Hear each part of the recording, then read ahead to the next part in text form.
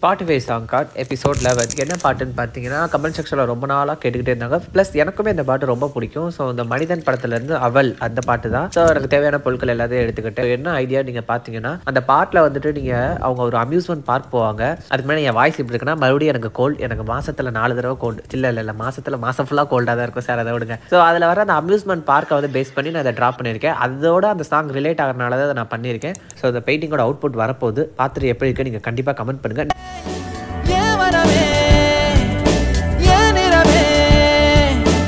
ஏழாக வளர்த்தவளை